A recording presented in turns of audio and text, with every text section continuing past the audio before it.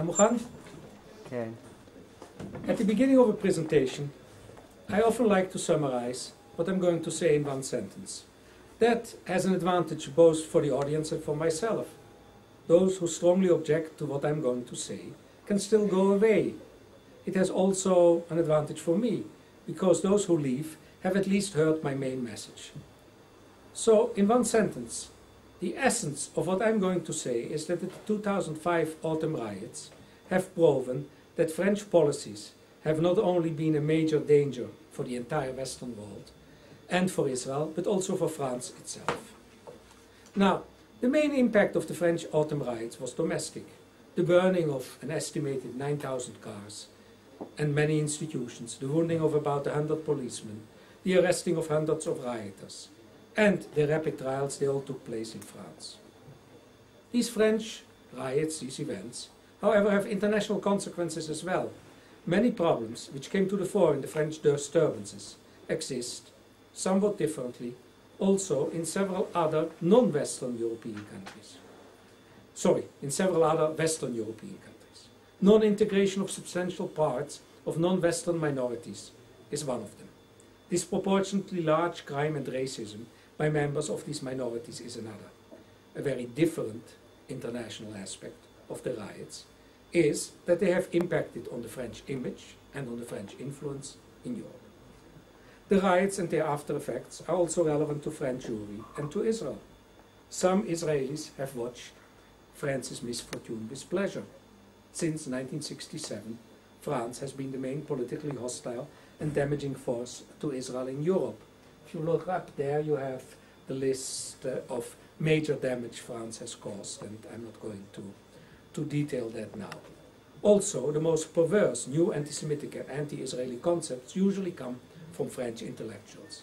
Some Israeli experts still remember how French Socialist Foreign Minister Hubert Védrine showed understanding for the French Muslims when they were beating up Jews a few years ago. Such gloating about France's troubles, however, doesn't help in understanding the future.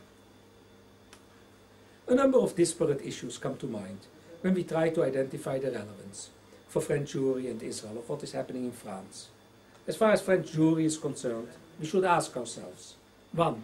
Was there a specific impact of the riots on the French Jewish community? 2. Are there specific conclusions for the Jewish community to be drawn from the riots? 3. What changes in societal attitudes and government measures may influence the French Jewish community? 4. Will the government make specific demands on the Jewish community? And also, as far as Israel is concerned, French events in France, events in France, have relevance. Just to mention a few aspects. Will the French attitude toward the Middle Eastern conflict change? Another important question is whether Israel can learn something from the riots and how they were handled. And yet, another issue for consideration is whether Israel should modify its public relations approach to France. And should it not also uh, change, uh, as a further question, uh, its public relation approach to, to Europe? Now, it is impossible to address these issues concerning French Jewry and Israel without giving a basic description of the riots, the damage caused, the characteristics of the rioters, what motivated these riots, how did the French government react, what was the public response. What, much of what I'm going to say is backed up by facts. Other substantial parts can only be speculative. On the one hand, because we lack information, and on the other, because uh, several of my remarks concern the future.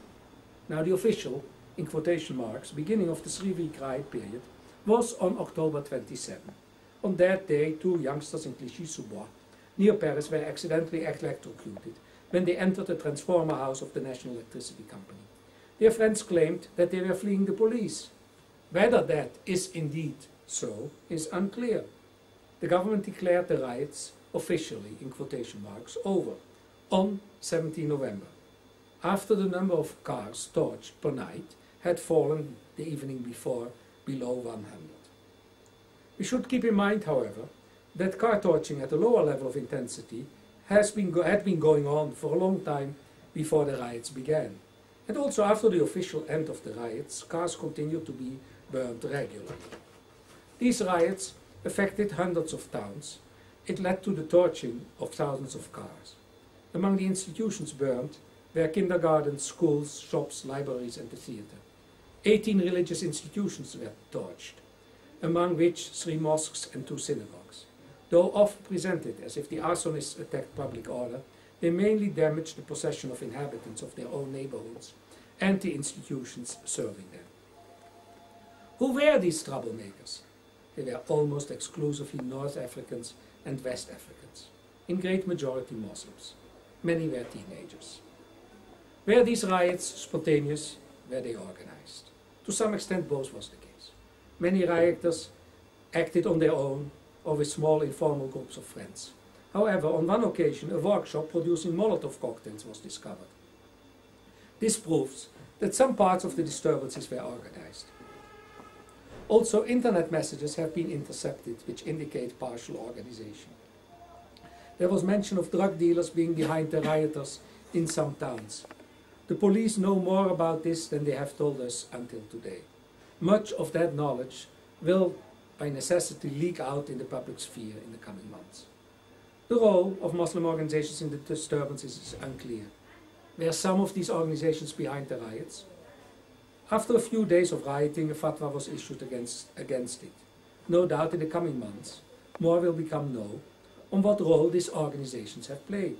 We will also gradually see what benefits certain extreme Muslim organizations will try to draw from the riots.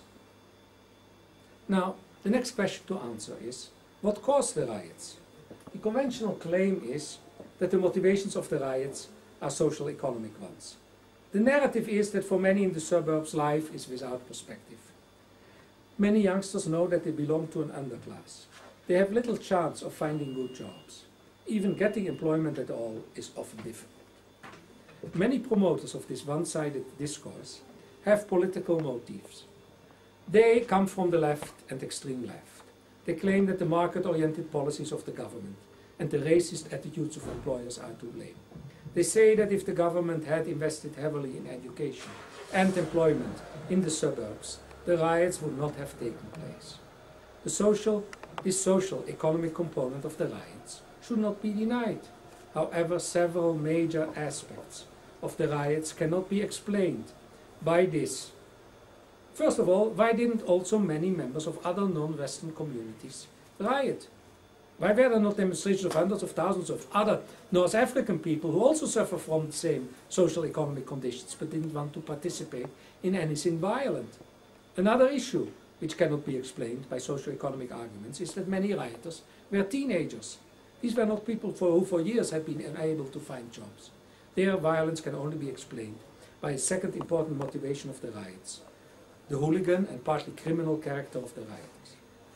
This explanation doesn't suit politically correct ideology. It draws not only attention to the disproportionately large crime rate among certain minorities, it also makes it impossible to blame the riots exclusively on the government.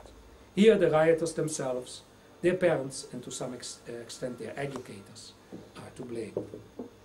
Now, it is much more problematic to stress the third major component behind the disturbances. Part of the rioters were driven by deep anti-French and anti-white feelings. They explicitly said so.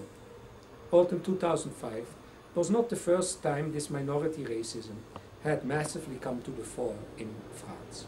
On 6 October 2001, a football game took place between France and Algeria in a stadium near Paris. A large part of the Algerian crowd hissed the national hymn, the Marseillaise. French government ministers were pelted with projectiles already then it was difficult to explain away this clear outburst of minority racism by saying, well, the subculture of football has other rules than mainstream society. For whoever wanted to see it, there were many other signs that part of the extreme aggression among minorities is specifically oriented against French society at large and whites. There have been multiple indications of anti-French racist behavior among some North African children in public schools. Yet a further proof of minority racism came in spring 2005 during protest demonstrations of high school students. Hundreds of North Africans as well as blacks from the suburbs attacked and robbed participants. Some of these criminals explicitly said that they did so because their targets were white French. It is still taboo in many French circles to mention that the substantial motivation of the rioters was racist ethnic, anti-French and anti-white. For a long time the politically correct have said there's only one type of racism. Whites are racists against the colored. European racist experts, racism experts, are willing now to admit that a disproportionately large number of extreme racists in Europe can be found among Muslims and Arabs. They usually say so only in private. Such a politically incorrect truth can only be public mentioned once the evidence becomes overwhelming. The riots in France have contributed a lot to this evidence and make exposing it easier. This taboo of minority racism is part of a much larger distortion many politically correct members of the elite promote. Yet another aspect of the same fallacy is the claim that weak people are always victims, strong are always guilty. This confusion between victims and criminals was exposed several years ago by the French philosopher André Taguieff. Think that's it. To mention that the substantial motivation of the rioters was racist and ethnic, anti-French and anti-white. For a long time, the politically correct have been telling us that there is only one type of racism. Only whites can be racists against the colored. European racism experts are very willing to admit that a disproportionately large number of the extreme racists in Europe can be found among Muslims and Arabs. But they usually uh, tell, tell me these kind of things in private because uh, it's not worthwhile for them to go public on this. Such a politically incorrect truth can only be publicly mentioned once the evidence becomes overwhelming. The riots in France have contributed a lot to this evidence and make exposing it much easier. The taboo of minority racism is part of a much larger distortion many politically correct members of the uh, European elite promote. Another aspect of the same fallacy uh, is that the weak are always victims, while the strong are always guilty. This confusion between victims and criminals was exposed several years ago by the French philosopher André Taguieff. He describes the role of the media in justifying violence and presenting criminals as victims. Then he says the next step is you declare the criminals non-responsible because they are determined by their social economic conditions. Uh, Taguieff explains that this is nothing but an updated version of Marxist uh, determinism. And then he says another aspect of his this is that the Islamist version of Islam becomes the religion of the poor and the victims rather than of the criminals. And all this then combines in that declaring that you have to declare that Muslims or Arabs are always humiliated and they are always the people being attacked. Now, another French philosopher, Alain Finkielkraut, in an interview in Haaretz, drew attention to this strong minority racism in the French riots. Violent criticism forced him to apologize a few days later. Indeed, in his interview, he may have gone a bit too far by stressing mainly the racist component of the riots. That doesn't mean, however, that this component was not important. Now we have also to ask ourselves what facilitated the expansion of the, of the riots. We know what motivated it, but what made it, uh, what made it expand? There are a number of factors. As said, in today's victim-oriented climate, there is a lot of sympathy for the weak, even if they are criminals. There was much public criticism of the French Minister of the Interior, Nicolas Sarkozy, who took a tough position against the rioters. This sympathy, of course, if you are a bunch of criminals and rioters and you know that you have sympathy in wide circles, that doesn't help you to end the riots. And it certainly doesn't facilitate the position of the authorities. Secondly, there was also a partial paralysis of these authorities. You hardly heard the President of France Jacques Chirac during those three weeks. He came in very late with a speech uh, and uh, he didn't appear very often. There comes also a very, very basic question remains on the role of the, these Muslim bodies, as I have said in the riots. Was this fatwa against the rioting issued at the request of the French authorities? If that is so, that the French asked the Muslim, Muslim authorities to issue that. then the next question, of course, is what's the price going to be for this help in the future? What is undeniable that in the background of all this lurks the major ongoing incitement from the Arab and Muslim world against the West and its culture.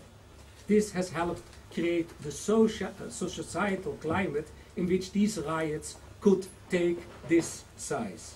And you hear in the French press about this aspect, you hardly read anything, if at all. Now, this leads to a number of rather disparate questions concerning the future. If the government needed Muslim organizations to influence the behavior of certain citizens uh, during the riots and to bring the riots down to a lower level, uh, is this the beginning of a semi-autonomous Muslim community? Is it uh, which listens to the government only through its own leaders? It is not only that the leading culture, if that is so in some French towns, will no longer be French but Muslim, but also French law will no longer rule there. Sharia will perhaps partly replace it, but there will also be other laws, those of the thugs and those of the political extremists. And you can only guess what these types of rule may mean concerning crimes committed in those communities against other members of the minority living in those areas, for instance, secular Muslims or uh, women. You can reasonably expect that in the coming months Muslim extremism and other developments among Muslims in France are going to be more scrutinized. Part of this scrutiny will be, of course, at government level, by the secret services, by the police. it will also come from the media. But with the French media, you never know what they, are, what they wish to hide as far as the facts are concerned. But fortunately enough, uh, the international media are going to be less kind about exposing the problematic elements among French Muslims. And some of the best articles on these riots have indeed been written by foreign media and not by the French media. And then there is still a question in the background, another question. If these riots succeed in getting a lot of additional money for the suburbs, then the impression may have been created there that major arson pays. So if burning the place helps you to get money, why do not burn more? The riots may also have substantial consequences for French politics. The socialists have been the main promoters of the failed multicultural society. They have been traditionally weak on law and order.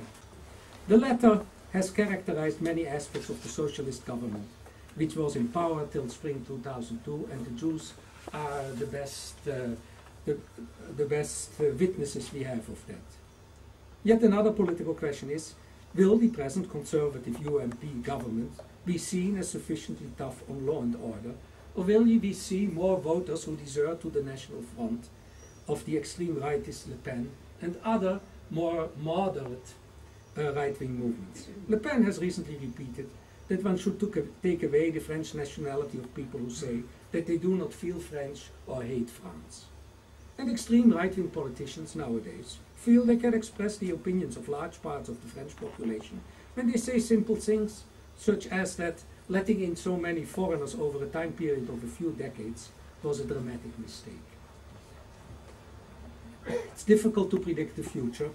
Uh, developments in France will much depend whether the riots were a one-time event or whether they will reoccur. Of course, new terrorist incidents such as in Madrid and London may have also an important influence on political developments. In the meantime, the emergency legislation is still in place for another two months. Now, we should not be mistaken. France has made very big efforts to integrate these minorities. It has put tremendous resources in these, in these people. And whatever additional monies it will uh, invest in these people will not be enough. And also, the money you put in one group, you have to take away from another group. Uh, and the government thus has to make sure that it gets something for all that new money which is going to invest in the suburbs. And that puts it on an even bigger colli collision trajectory with the Muslim extremists who want to undermine all these efforts. So far about France, now about Europe. The French riots have a lot of meaning for Europe.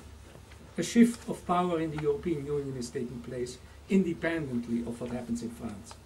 Uh, Europe has been, the European Union has been dominated by a French-German axis since its beginning, and this axis has been substantially weakened. The present German Chancellor, Angela Merkel, attaches much less importance to this French-German axis than her predecessor, the socialist Gerhard Schröder.